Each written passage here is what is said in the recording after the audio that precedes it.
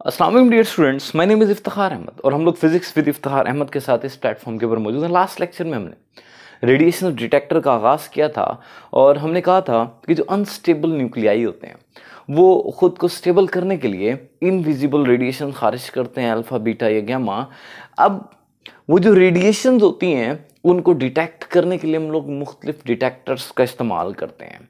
सबसे पहले जो हमने डिटेक्टर पढ़ा था that was Wilson cloud chamber और विल्सन क्लाउड चैम्बर क्या कर रहा था? वो हमारे पास इनविजिबल रेडिएशंस के पाथ को विजिबल कर रहा था। और फिर उनके जो ट्रैक्स थे, उनको देखकर हमें आइडिया होता है कि यहाँ से कौन सी रेडिएशंस पास कर रही हैं या कौन सी रेडिएशन इस रेडिएक्टिव एलिमेंट से निकल रही है। दूसरा बच्चा जो डिटेक्टर है हमारे पास that is Geiger Muller counter इसको गीगर मुलर काउंटर भी कहा जाता है, इसको जीएम ट्यूब भी कहा जाता है, इसको गैसियस आयनाइजेशन चैम्बर भी कहा जाता है, क्योंकि इसकी वर्किंग के अंदर हम लोग गैसेस का इस्तेमाल करते हैं, या फिर हम इसको गैस फ़ील्ड चैम्बर या गैस फ़ील्ड डिटेक्टर भी बोलते हैं। इसके बारे में पहली बात यह है कि जो गीगर मुलर काउंटर है ये भी रेडिएशन डिटेक्टर है, इसको Hans Geiger and W Muller ने 1928 के अंदर बनाया था 1928 के अंदर इसको बनाया था।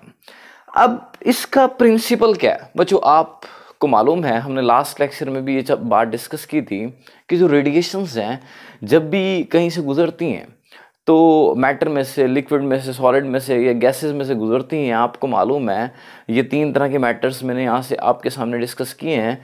जब भी रेडिएशन मैटर में से गुजरती हैं तो आयनाइजेशन प्रोड्यूस करती हैं। तो सर इसका मतलब ये है कि हमने जितने भी डिटेक्टर्स बनाए हैं, तमाम के तमाम रेडिएशंस की आयनाइजेशन प्रॉपर्टी को इस्तेमाल करके बनाए गए हैं। तो इसका वर्किंग प्रिंसिपल क्या है? Based on the ionising nature of the radioactive radiation radioactive radiation के आयनाइजिंग नेचर को इस्तेमाल करते हुए हमने ये काउंटर बनाया अब हम इसकी कंस्ट्रक्शन के ऊपर बात कर लेते हैं। बच्चों इसकी कंस्ट्रक्शन के अंदर आपको ये जो ब्लू कलर का ये एक सिलेंडर नज़र आ रहा है, ये आपके पास एक होलो सिलेंडर होता है, ठीक है? ये जो आपको नज़र आ रहा है, ये हमारे पास एल्यूमिनियम का बना हुआ एक होलो सिलेंडर होगा और इस होलो सिलेंडर के अंदर हमें ये जो सेंटर में रेड वाली नज़र आ रही है, ये ये स्टिफ सेंट्रल वायर होती है। इस स्टिफ सेंट्रल वायर को एनोड कहा जाता है। सर, क्यों? क्योंकि इसको हम लोग कनेक्ट कर देते हैं तकरीबन 400 वोल्ट की बैटरी के पॉजिटिव टर्मिनल के साथ चूँकि इसको पॉजिटिव से कनेक्ट किया जाता है, इसलिए इस वायर को हम एनोड का नाम देते हैं। जबकि ये जो आपको अपर वॉल नज़र आ रही है और लोअर वॉल नज़र आ रही है। ये बैटरी के नेगेटिव से जुड़े होते हैं इसलिए इसको हम लोग कैथोड का नाम देते हैं और ये एलुमिनियम का बना होता है। आ, इसको हम एलुमिनियम का कैथोड बोलते हैं ठीक है? उसके बाद बच्चों एक आपको लेफ़्ट पे और एक राइट पे ये जो आपको लेफ़्ट और राइट पे दो नज़र आ रही हैं ये दो विंडोज़ हैं। ये जो लेफ़्ट पे नज़र आ रही है ये थिन माइका की बनी हुई विंडो है। माइका जो है, इंतहाई बारीक सा जो मटेरियल हम इस्तेमाल करेंगे ताकि रेडिएशन जो हैं, इसमें से गुजर सकें। आप यहाँ पर पेपर इस्तेमाल मत कीजिएगा, क्योंकि अगर अल्फ़ा रेडिएशन हुई तो वो इसमें जज्ब हो जाएँगे, अंदर नहीं जाएँगे, अंदर नहीं जाएँगे तो डिटेक्ट नहीं होंगी। ठीक है, आप यहाँ पर जो है एलुमिनियम की शीट इस्तेमाल मत कीजिएगा, क्योंकि एलुमिनियम को अल्फ़ा और बीटा जो है एलुमिनियम के अंदर दोनों एब्जॉर्ब हो जाती हैं तो वो भी डिटेक्ट नहीं होगी। आप यहाँ पर जो है लेड भी इस्तेमाल कीजिएगा लेड भी इस्तेमाल मत कीजिएगा, क्योंकि जो लेड है वो अल्फ़ा बीटा और गैमा तीनों को एब्जॉर्ब करने की कैपेसिटी रखता है। तो हम यहाँ पर जो विंडो इस्तेमाल करेंगे that is thin mica window जबकि दूसरे एंड के ऊपर ये ये एंड क्लोज होता है। ये जो आपको ब्लैक में नज़र आ रहा है, ये क्लोज एंड है। ठीक है बच्चों? उसके बाद उसके बाद बच्चों, ये मैंने सारी बात डिस्कस कर दी है। अगली जो चीज़ है, इस ट्यूब के अंदर, ये जो आपके पास गीगर मूलर काउंटर है, ये ट्यूब है जीएम ट्यूब इसके अंदर दो गैसेज होती हैं। नंबर वन एक हमारे पास जो गैस होती है नियोन या आर्गोन इन दोनों में से कोई एक गैस होगी। इनको कहा जाता है प्रिंसिपल गैस दूसरी जो गैस इसके अंदर इस्तेमाल की जाती है, नियोन के साथ मिलाकर, वो that is bromine that is called as quenching gas quenching gas को कहा जाता है। मैंने क्या कहा, इसके अंदर दो गैसेस इस्तेमाल होगी, या तो नियोन या आर्गोन इस्तेमाल होगी, इनमें से एक इस्तेमाल होगी, जिसको कहा जाता है प्रिंसिपल गैस और एक और जो गैस इस्तेमाल होगी that is bromine bromine is called as quenching gas ठीक है? और उसके साथ मैंने यहाँ पर लिख दिया वन एंड इज़ क्लोज इस जो ट्यूब का या इस सिलेंडर का एक हिस्सा क्लोज है, जबकि दूसरे सिरे के ऊपर है तो दूसरा भी क्लोज, लेकिन दूसरा जो सिरा है, वो क्लोज किया गया है with the help of a thin mica window जबकि ये सिरा क्लोज किया गया है with the help of an insulating medium ये इंसुलेटर लगा हुआ है और यहाँ पर थिन मिका या माइका विंडो लगी हुई है। उसके बाद बच्चों, इस ट्यूब के अंदर जो प्रेशर रखा जाता है, तकरीबन पॉइंट वन एटमॉस्फेरिक प्रेशर रखा जाता है। यानी एटमॉस्फेरिक प्रेशर का टेंथ पार्ट रखा जाता है और ये लो प्रेशर रखने की एक वजह है, वो मैं आपको वर्किंग में बताऊँगा। अगली बात बच्चों, एक और इसके अंदर हमारे पास एक सर्किट होता है, जिसको स्केलर या काउंटर कहा जाता है। ये स्केलर या काउंटर है। आप देख सकते हैं, ये स्केलर या काउंटर भी जो है, हमारे पास ये क्या करता है, आप इसको समझ लें एक डिजिटल सर्किट होता है। अब अंदर रेडिएशन जैसे ही अंदर दाखिल होंगी तो उनसे आयनाइजेशन होगी और आयनाइजेशन के नतीजे में इलेक्ट्रॉन की एक पल्स जनरेट होगी। इलेक्ट्रॉन्स की जो पल्स जनरेट होगी, उसको ये काउंट करता है। अगर इसने काउंटिंग स्टार्ट कर दी है, इसका मतलब अंदर रेडिएशन दाखिल हो चुकी है। अगर इसकी काउंटिंग ज़ीरो इसका मतलब अंदर कोई रेडिएशन दाखिल नहीं हुई। अच्छा जी, उसके बाद बच्चों, अब इसकी वर्किंग के ऊपर बात करते हैं। वर्किंग के अंदर हम सबसे पहले ये जो मैं आपको अंदर ऑलरेडी आपको ब्लैक कलर के डॉट्स नज़र आ रहे हैं फ़र्स्ट करो, ये आपके पास नियॉन गैस है, जिसको प्रिंसिपल गैस बोलते हैं, ठीक है? ये इसके अंदर नियॉन गैस मौजूद है। अभी मैंने इसके अंदर ब्रोमीन इस्तेमाल नहीं की ब्रोमीन का फ़ंक्शन क्या है, मैं आपको बाद में बता दो नियॉन गैस है फ़र्ज़ करें इसमें, ठीक है जी? अभी रेडिएशन को डिटेक्ट कैसे करेगा यहाँ से बच्चों रेडिएशन दाखिल हो रही है। जैसे ही रेडिएशन यहाँ से दाखिल होंगी आप सबको इल्म है कि अंदर नियॉन गैस है तो रेडिएशन जैसे ही दाखिल होंगी, वो नियॉन के एटम्स के अंदर आयनाइजेशन प्रोड्यूस करेंगी। तो बच्चों, यहाँ पर जैसे ही नियॉन के एटम्स के अंदर आयनाइजेशन प्रोड्यूस होगी तो आपको इल्म है, मैं एक एटम की वर्किंग दिखाता हूँ आपको। जैसे आयनाइजेशन होगी तो आपको पता इलेक्ट्रॉन्स निकलेंगे। इलेक्ट्रॉन्स निकलेंगे तो इलेक्ट्रॉन के ऊपर नेगेटिव चार्ज होता है और साथ जिस एटम से इलेक्ट्रॉन निकलेंगे, उसके ऊपर पॉजिटिव चार्ज आ जाएगा। ठीक है, यानी सर इलेक्ट्रॉन और पॉजिटिव आइंस जनरेट होंगे। अभी जो इलेक्ट्रॉन प्रोड्यूस हुआ है ना, इस इलेक्ट्रॉन के ऊपर नेगेटिव चार्ज है और ये इलेक्ट्रॉन जो है, ये स्टिफ सेंट्रल वायर जिसको आप एनोड बोल रहे हैं, ये जिसको अपने बैटरी के पॉजिटिव से जोड़ा हुआ है, ये इसकी तरफ़ को अट्रैक्ट होगा। जब ये इलेक्ट्रॉन इस सेंट्रल वायर की तरफ़ को अट्रैक्ट होगा। जब ये इस तरफ़ को जा रहा होगा तो इसका टकराव रास्ते में आने वाले मजीद ये जो एटम्स हैं ये जो आपके पास आ, आपके पास प्रिंसिपल गैस नियॉन है उसके एटमों से होगा। यानी एक इलेक्ट्रॉन आ रहा था। इस इलेक्ट्रॉन के रास्ते में हमारे पास नियॉन का एटम आ जाएगा। जब वो एटम आएगा तो ये इलेक्ट्रॉन उसके इलेक्ट्रॉन को नॉकआउट कर देगा। यानी उसके अंदर आयनाइजेशन प्रोड्यूस करेगा। एक इलेक्ट्रॉन था, एक या खुद था, एक इसने नियॉन के एटम के अंदर आयनाइजेशन कर दी तो दो इलेक्ट्रॉन्स हो जाएँगे। अब बच्चे, ये दो इलेक्ट्रॉन्स क्या करेंगे? ये दो इलेक्ट्रॉन्स दोनों के ऊपर नेगेटिव है, ये एनोड की तरफ़ को जब जा रहे होंगे तो ये मजीद दो नियॉन के एटमों के अंदर आयनाइजेशन करेंगे, दो से, ये आपके पास चार इलेक्ट्रॉन्स हो जाएँगे। चार से आठ हो जाएँगे, आठ से सोलह सोलह से बत्तीस बत्तीस से चौसठ एंड ये बढ़ता चला जाएगा। ये तो मैंने आपको एक एटम के बारे में बताया। जबकि रेडिएशन जैसे ही दाखिल होंगी, वो तमाम एटम्स के अंदर आयनाइजेशन करेगी। तो आप इमेजिन करें कितने इलेक्ट्रॉन्स पैदा होंगे और वो कितने इलेक्ट्रॉन्स जब एनोड की तरफ़ को जा रहे होंगे तो वो कितने इलेक्ट्रॉन मजीद हमारे पास आयनाइजेशन से मजीद इलेक्ट्रॉन्स पैदा करेंगे।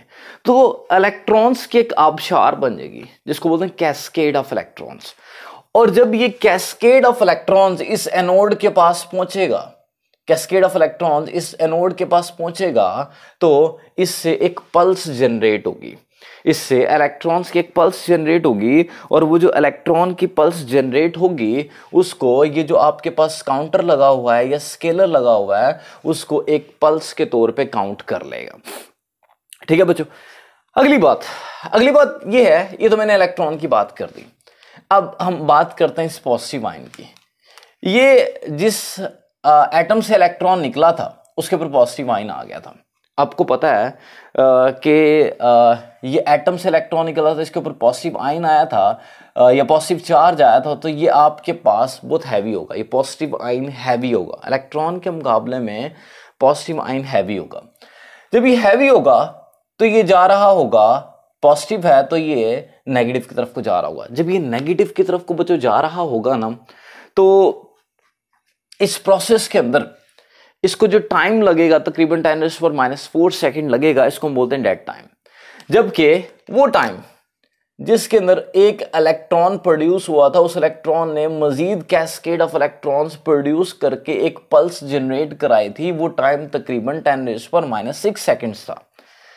यानी एक मुकम्मल इलेक्ट्रॉन की पल्स को काउंट होने में जो वक्त लगा था टेन रेस पर माइनस सिक्स सेकेंड या जिसको वन माइक्रो सेकेंड बोलते हैं। जबकि ये हैवी है। जब ये इस तरफ़ को जा रहा होगा तो जब ये इस तरफ़ को जा रहा होगा, इसको उस टाइम के मुकाबले में हंड्रेड टाइम्स ज़्यादा टाइम लगेगा क्योंकि ये हैवी है। अच्छा जी, खैर, इस टाइम को बोलते हैं डेड टाइम इस टाइम को हम लोग डेड टाइम बोलते हैं और ये टाइम होता है टेन उस पर माइनस फोर सेकेंड इसको अगर मैं इस टाइम को हंड्रेड से मल्टीप्लाई करूँ तो ये टाइम आएगा। इसका मतलब ये टाइम इसके मुकाबले में हंड्रेड टाइम ज़्यादा होगा। सर, इसको डेड टाइम्स क्यों बोलते हैं? इसकी वजह बच्चों ये है जब ये यहाँ से यहाँ जा रहा होगा, इस टाइम के अंदर, अब आपको पता रेडिएशन जब दाखिल हुई थी तो सारे के सारे अंदर आयंस बन गए थे। सारे आयंस मौजूद हैं, कोई न्यूट्रल एटम मौजूद नहीं है। तो ये तो मैं आपको एक की वर्किंग बता रहा हूँ। जब यहाँ से जहाँ जा रहा होगा, बाहर से अगर अब रेडिएशन आएँगी भी सही तो चूँकि अंदर कोई न्यूट्रल एटम मौजूद नहीं है तो आयनाइजेशन होगी नहीं। आयनाइजेशन नहीं होगी तो इलेक्ट्रॉन इस सेंट्रल वायर की तरफ़ को अट्रैक्ट भी नहीं होंगे। जब वो अट्रैक्ट नहीं होंगे तो स्केलर या काउंटर उनको काउंट भी नहीं करेगा। तो सर इसका मतलब ये हुआ कि जब ये यहाँ से यहाँ जा रहा होता है तो इस दौरान रेडिएशन अगर दाखिल हो भी जाए तो इनको काउंट नहीं करता। ये उनको काउंट नहीं करता। इस टाइम को कहा जाता है डेड टाइम और ये कितना होता है? टेन माइनस फोर सेकेंड होता है। ठीक है जी। अब बच्चों, ये जब जाकर यहाँ टकराएगा तो आपको पता है एनोड और कैथोड के दरमियान तकरीबन 400 वोल्ट का पोटेंशियल डिफरेंस है, जो कि बहुत ज़्यादा है। और अगर ये बहुत ज़्यादा है तो इससे क्या होगा? ये काइनेटिक एनर्जी गेन कर लेगा। क्योंकि हमने पढ़ा होगा काइनेटिक एनर्जी को क्यू डेल्टा भी चैप्टर नंबर ट्वेल्व के अंदर। पोटेंशियल डिफरेंस ज़्यादा होने की वजह से काइनेटिक एनर्जी गेन करके जाकर ये कैथोड को मारेगा टक्कर। कैथोड को जब ये जाकर हिट करेगा तो कैथोड से इलेक्ट्रॉन निकालेगा। जब कैथोड से इलेक्ट्रॉन्स निकलेंगे तो इसके ऊपर चूँकि पॉजिटिव चार्ज है तो यून इलेक्ट्रॉन को कैप्चर करके यून इलेक्ट्रॉन को कैप्चर करके न्यूट्रल एटम के अंदर तब्दील हो जाएगा। लेकिन, जब इसने टक्कर मारी थी तो कैथोड से इलेक्ट्रॉन्स निकले थे? अब वो जो इलेक्ट्रॉन्स निकले थे, अब वो फिर किस तरफ़ को अट्रैक्ट होंगे? ये सेंट्रल वायर की तरफ़ को अट्रैक्ट होंगे, क्योंकि इलेक्ट्रॉन के ऊपर नेगेटिव चार्ज है, जबकि सेंट्रल वायर के ऊपर पॉजिटिव चार्ज है। अब जब ये सेंट्रल वायर की तरफ़ को अट्रैक्ट होंगे तो फिर ये क्या करेंगे? रस्ते में आने वाले मजीद एटम्स के साथ मजीद एटम्स के अंदर से इलेक्ट्रॉन्स निकालेंगे। जब ये मजीद एटम्स के अंदर से इलेक्ट्रॉन्स निकालेंगे तो यानी एक से फिर दो दो से फिर चार चार से फिर आठ एंड सो ऑन फिर वो कैस्केड ऑफ़ इलेक्ट्रॉन बन जाएगा, और उस कैस्केड ऑफ़ इलेक्ट्रॉन को ये जो हमारा काउंटर है या स्केलर है, उसको एक पल्स के तौर पे काउंट कर लेगा। अब सवाल मेरा ये है कि ये जो पल्स अब पैदा हुई है, क्या ये रेडिएशन की वजह से पैदा हुई है? नहीं बच्चों, ये रेडिएशन की वजह से पैदा नहीं हुई। रेडिएशन की वजह से जो पल्स पैदा हुई थी, वो पहले पैदा हुई थी। अब ये जो इलेक्ट्रॉन्स निकलते हैं पॉजिटिव आयन के यहाँ हिट करने से, इनको कहा जाता है स्कैंडरी इलेक्ट्रॉन्स और ये जो स्कैंडरी इलेक्ट्रॉन्स होते हैं, ये स्प्यूरियस काउंट्स का सबब बनते हैं। स्प्यूरियस काउंट्स का मतलब रॉन्ग काउंटिंग की वजह बनते हैं। हम ये चाहते हैं कि सिर्फ़ वो पल्स जनरेट हो जो रेडिएशंस के दाखिल होने पर आयनाइजेशन की वजह से इलेक्ट्रॉन जो पैदा हुए हैं, उनकी पल्स काउंट हो। ठीक है? सेकेंडरी इलेक्ट्रॉन्स की वजह से कोई पल्स जनरेट ना हो। तो बच्चों, उसके लिए हम क्या करते हैं?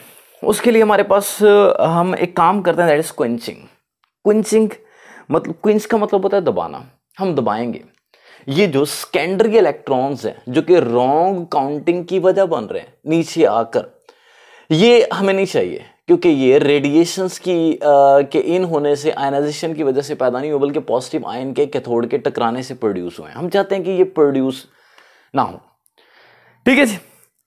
अब इससे बचने के लिए या इस प्रोसेस के लिए हमारे पास दो तरीके होते हैं। एक को बोलते हैं सेल्फ क्विंचिंग एक को बोलते हैं इलेक्ट्रॉनिक क्विंचिंग ठीक है? अब सेल्फ क्विंचिंग में क्या करते हैं? बच्चों सेल्फ क्विंचिंग के अंदर हम एक काम करते हैं, इस ट्यूब के अंदर एक और गैस इन करा देते हैं। That is called as quenching gas ये जो रेड में मैं आपको दिखा रहा हूँ, ये क्विंचिंग गैस है। ठीक है? ब्रोमीन पहले मौजूद थी, इसमें जो रेड दिखा रहा हूँ मैं क्विंचिंग गैस सॉरी नियॉन पहले मौजूद थी। अभी जो रेड में मैंने दिखाई है that is called as bromine और ये क्विंचिंग गैस है। अब शर्त क्या है? शर्त ये बचो, ये जो आपने गैस अब इंट्रोड्यूस कराई जिसको क्विंचिंग गैस बोले ब्रोमीन इसका आयनाइजिंग पोटेंशियल प्रिंसिपल गैस के आयनाइजिंग पोटेंशियल से काम होना चाहिए। मतलब सर मतलब ये है कि जैसे ही रेडिएशंस दाखिल होंगी, अब अंदर दो गैसेज हैं। एक है आपके पास नियॉन और दूसरी आपके पास ब्रोमीन जिसको क्विंचिंग गैस बोल रहे हैं। इसका मतलब यह है कि जैसे रेडिएशन दाखिल होंगी तो पहले ब्रोमीन को ब्रोमीन को, जो कि क्विंचिंग गैस है, उसको आयनाइज करें। अब मैं इस चीज़ को ना यहाँ पर आपको समझाता हूँ। ये फ़र्ज़ कर लें सेंट्रल वायर है, जो कि पॉजिटिव थी, और ऊपर आपके पास जो है, ये आपके पास कैथोड था, जो कि नेगेटिव था। जैसे ही रेडिएशन दाखिल होंगे, यहाँ पर ब्रोमीन भी होगी, और नियॉन भी होगी। ब्रोमीन जो है ना, वो एक डाई गैस होती है। दो एटम्स होते हैं, इसलिए मैंने यहाँ पर दो एटम्स ड्रॉ करके दिखाए हैं। जैसे रेडिएशन दाखिल होगी चूँकि इसका आयनाइजिंग पोटेंशियल कम है तो ये पहले आयनाइज हो जाएगी। जब ये पहले आयनाइज होगी तो इसमें से पहले इलेक्ट्रॉन निकलेगा। जब इसमें से पहले इलेक्ट्रॉन निकलेगा तो इसके ऊपर एक पॉजिटिव चार्ज आ जाएगा। जब इसके ऊपर पॉजिटिव चार्ज आएगा तो ये पहले कैथोड की तरफ़ को भागेगा। जब ये कैथोड की तरफ़ को जा रहा होगा कैथोड की तरफ़ को जब ये जा रहा होगा ब्रोमीन आइन या ब्रोमीन का मॉलिक्यूलर आइन जब ये कैथोड की तरफ़ को जा रहा होगा तो जो कैथोड ये जो ब्रोमीन है ना इलेक्ट्रॉन लविंग गैस है।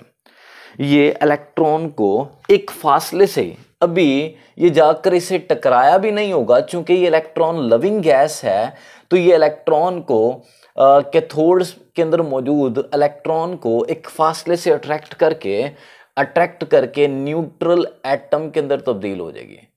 और अभी इसने टक्कर नहीं मारी होगी उसको। पहले से अट्रैक्ट करके न्यूट्रल एटम में तब्दील होगी। जब ये न्यूट्रल एटम में तब्दील होगी तो ये नीचे आना शुरू कर देगी। अभी ऊपर नहीं जाएगी, क्योंकि न्यूट्रल होगी है। न्यूट्रल को इलेक्ट्रिक फ़ील्ड अट्रैक्ट या रिपेल नहीं करता। चार्ज पार्टिकल को इलेक्ट्रिक फ़ील्ड अट्रैक्ट या रिपेल करता है। आपको पता है, इन दोनों प्लेट्स के दरमियान इलेक्ट्रिक फ़ील्ड है। पॉजिटिव से नेगेटिव की तरफ़, लेकिन वो चार्ज पार्टिकल के ऊपर फोर्स लगाता है। अब ये ब्रोमीन का जो न्यूट्रल मॉलिक्यूल है, नीचे की तरफ़ को आ रहा होगा। लेकिन साथ ही यहाँ पर मौजूद थी नियॉन। नियॉन क्या हो जाएगी? आयनाइज हो जाएगी। पहले ब्रोमीन हुई थी, लेकिन उसके फ़ौरन बाद क्या हो जाएगी? नियॉन। नियॉन जब आयनाइज होगी तो नियॉन से इलेक्ट्रॉन निकलेगा। नियॉन के ऊपर पॉजिटिव चार्ज आ जाएगा। अब नियॉन ऊपर जाना शुरू कर देगी। फ़र्ज़ करें, ये नियॉन का जो पॉजिटिव आइन है, ये ऊपर जा रहा है। ये ऊपर जा रहा है, जबकि ऊपर से ये नियॉन है और ऊपर से ब्रोमीन का जो आपके पास मोलिक्यूल है, वो नीचे को आ रहा है। जब ये ऊपर जा रही होगी और वो नीचे आ रहा होगा तो ये उसको टक्कर मारेगी। जब ये टक्कर मारेगी, नियॉन का पॉजिटिव आयन जब ब्रोमीन के मॉलिक्यूल को टक्कर मारेगा तो ये उसको डिसोसिएट कर देगा, तोड़ देगा। ये इसको तोड़ देगा। ये ब्रोमीन के एटम को तोड़ देगा और ये पॉजिटिव आयन खुद इसको तोड़ता हुआ ऊपर चला जाएगा। जब ये ऊपर जाएगा, अब हुआ क्या? अब बच्चों, होगा ये कि जब इसने ब्रोमीन के मॉलिक्यूल को टक्कर मारी है तो अपनी काइनेटिक एनर्जी का कुछ हिस्सा उसको शिफ्ट कर दिया, उसको डिसोसिएट करने में, तोड़ने में इस्तेमाल कर लिया। इसकी काइनेटिक एनर्जी कम हो जाएगी।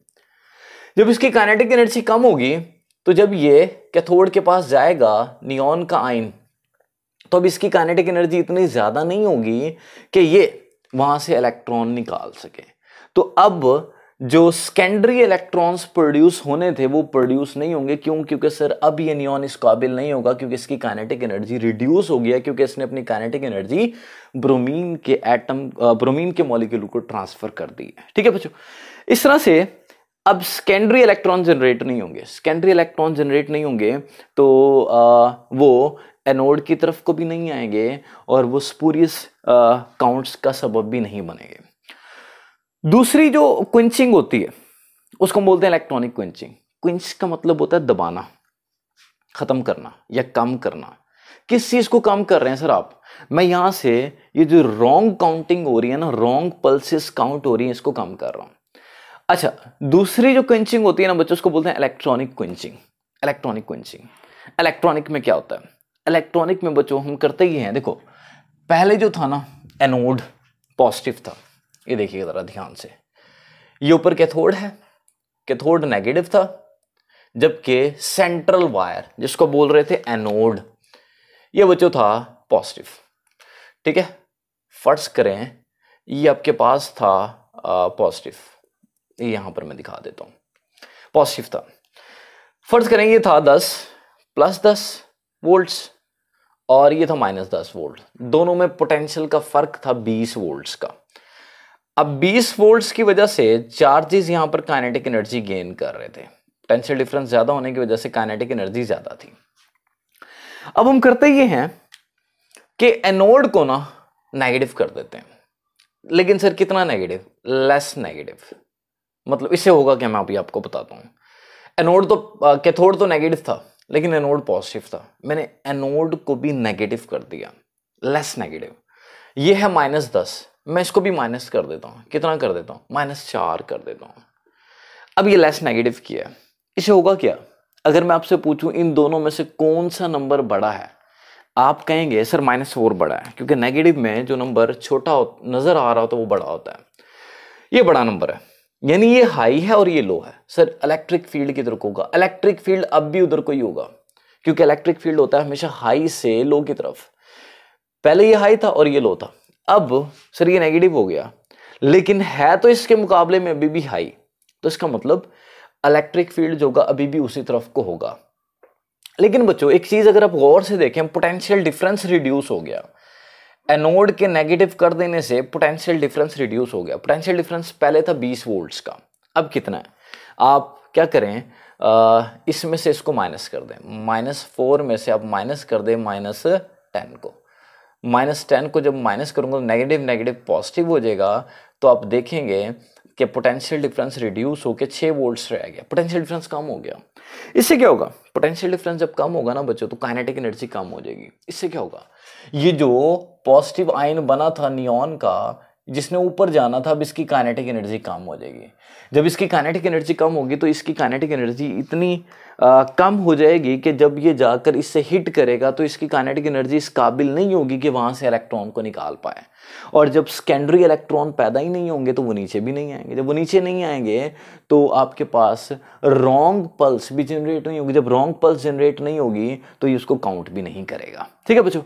लेकिन प्रॉब्लम ये है इस प्रोसेस में इसका नुकसान है मैम इसका नुकसान ये है कि इसे डेड टाइम बढ़ जाएगा। डेड टाइम कौन सा था? वो टाइम जिसमें पॉजिटिव आइन यहाँ से यहाँ जा रहा होता है। वो पहले कितना था? टेन पर माइनस फोर सेकेंड अब क्यों बढ़ जाएगा? अब इसलिए बढ़ जाएगा क्योंकि हमने इसकी काइनेटिक एनर्जी को कम कर दिया ये और स्लो हो गया। और स्लो हो गया इसका मतलब अब ये ज़्यादा टाइम लगाएगा। जब ये ज़्यादा टाइम लगाएगा तो पीछे से रेडिएशन अगर आ भी रही होंगी तो वो काउंट नहीं हो पाएँगी। ये प्रॉब्लम है आ, आपके पास इलेक्ट्रॉनिक क्विंचिंग के अंदर। अच्छा बच्चों अब ये जो जीएम काउंटर है इसके कुछ डिसएडवांटेजेस हैं। इसके बेनिफिट्स कम है, इसके नुकसान ज़्यादा हैं। नुकसान क्या है वो हम डिस्कस कर लेते हैं। पहली बात, ये स्लो काउंटर है। सर क्यों? स्लो काउंटिंग क्यों करता है? Just because of dead time क्यों? क्योंकि जब यहाँ से पॉजिटिव आइन कैथोड की तरफ़ को जा रहे होंगे तो रेडिएशन अगर दाखिल भी हो रही होंगी, उसको काउंट नहीं करता। डेड टाइम की वजह से एक स्लो काउंटर है। दूसरी बात। दूसरी बात, बच्चों, यहाँ से जो भी रेडिएशन दाखिल हो अल्फ़ा हो बीटा हो गैमा हो ये उनकी एनर्जीज को डिफ्रेंशिएट नहीं कर पाता। अल्फ़ा होगी तो भी आयनाइजेशन होगी, फिर भी पल्स जनरेट होगी, फिर भी काउंटर उसको एक काउंट करेगा। बीटा होगी, फिर भी यही काम होगा। गैमा होगी, फिर भी यही काम होगा। तो सर जो भी रेडिएशन दाखिल होगी, ये सिर्फ़ ये ज़रूर डिटेक्ट करेगा कि रेडिएशन दाखिल हुई है। ये जो काउंटर है, या स्केलर है ये हमें जो है बता देगा कि इतनी पल्सेस जनरेट हो रही हैं। पल्स जनरेट होने का मतलब रेडिएशन दाखिल हुई है। लेकिन ये हमें ये नहीं बता पाता कि कौन सी रेडिएशन दाखिल हुई है। अगली बात कॉस्टली है। अब आप देख लें, इसके अंदर 400 वोल्ट की बैटरी चाहिए आपको। ये आपको एक इलेक्ट्रॉनिक या डिजिटल सर्किट चाहिए आपको। या आप डिस्चार्ज ट्यूब चाहिए गैसेज चाहिए लो प्रेशर मेंटेन रखना पड़ता है मी का विंडो चाहिए। उसके बाद low pressure is to maintain इसके अंदर 0.1 पॉइंट के बराबर प्रेशर रखना पड़ता है और हाई वोल्टेज रिक्वायर होता है। लेकिन सर इसको प्रेफर किया जाता है वहाँ जहाँ पर स्लो काउंटिंग करनी हो। फास्ट काउंटिंग के लिए ये सूटेबल नहीं है, क्योंकि फास्ट काउंटिंग के अंदर डेड टाइम की वजह से ये फास्ट काउंटिंग नहीं कर पाता। स्टूडेंट इसको अच्छे से समझिएगा। और अगर इसमें कोई प्रॉब्लम है तो आप लोग कमेंट सेक्शन में पूछ सकते हैं और इसको दोबारा से भी प्ले करके सुन सकते हैं। Thank you so much Allah हाफिज़।